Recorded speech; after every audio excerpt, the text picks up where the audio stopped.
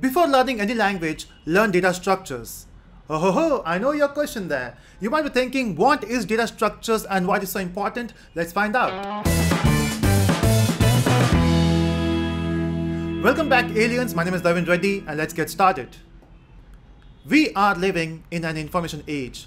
Now what does that mean? It simply means that everything around you, it's all about information. The IT industry which you are working with, it's IT, which is information technology right? So what they need is information. But we have to store that data somewhere, right? And that's important, the word data.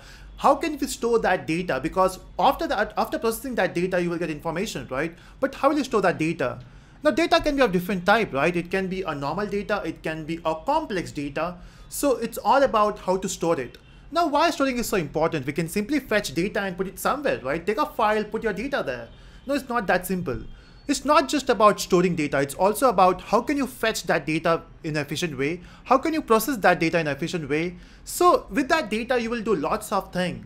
So you have to build a solution in such a way, or if you have to store your data in such a way that it will be easier for you to fetch it, to process it, and to, you know, again store it somewhere. And that's why we have this concept of data structures. So before learning a language, if you understand what is data structures, it will be easier for you to understand how that language works, right? In fact, if you have learned any programming language before, maybe C or Python or Java, in that we use certain things called as arrays, we use list. So to understand those concepts, data structure is very important.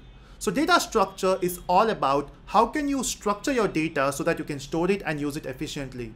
Again, there are certain algorithms you can you can implement on that. Uh, if you heard about this concept of searching techniques, we have sorting techniques. So we can apply all those techniques only when your data is properly structured. Now, how do we store that data? So what we have a concept called as abstract data type, which simply means you can store your data in such a way that it will be easier for you to, to work in future. Example, we have a concept of list. So if you want to save data in sequential format, we can actually use list. Uh, we also have a concept of stack. Uh, so let's say if you want to store everything in a sequence format, we can go for list. Maybe you want to, uh, you know, when you say Windows tab or Alt tab in Windows or in any, any OS, it will show the recent applications, right? Now, if you remember, the first app it shows you is the last which you have accessed, which means last in, first out. So at that point, we use stack. Uh, some sometimes we have to track each and every node, so we, we simply use uh, linked list or other other concepts. Uh, and uh, one more thing, the list concept which you're talking about, that's an abstract concept because every language have a different way of implementing it. And the actual implementation like linked list, we have array list. In Java, we have those two things. So data structure is all about store, how, how do you store your data. Now question arises why it is so important now. I mean, of course, it was important before as well, but nowadays we have this boom of data structures, right? Everyone wants you to know data structures. In fact, if you go for the job interviews as well, so initially they used to ask about programming language, they used to ask about mathematical uh, things. Now they talk about data structures. They will ask you a question based on data structures. I'm talking about all big companies, doesn't matter Google, Facebook, uh, Oracle, they will start asking you a question on, on data structures. But why? Why now?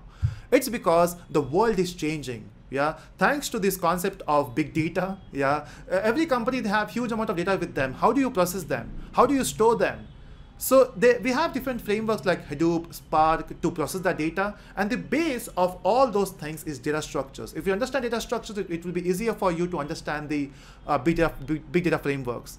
Thanks to AI, you know, machine learning, how will you implement AI if you don't have data? And to store that data, we need data structures, right? So the base for everything is data structures.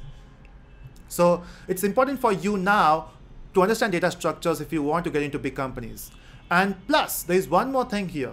Uh, you know, your learning data structure will be helpful for you when you start learning different languages because every language have their own way of implementing it, maybe Python or C or Java. So they have some inbuilt uh, things. You can use it only when you know how that works. So that's how you should learn data structures and data structures is all about storing data and using it efficiently right? So in the coming upcoming series, we'll talk about how do we implement data, data structures and what are the algorithms available so that you can implement it. I hope you liked this video. Let me know in the comment section if you liked it and click on the like button if you really enjoyed it and do subscribe for further videos. Thank you so much for watching.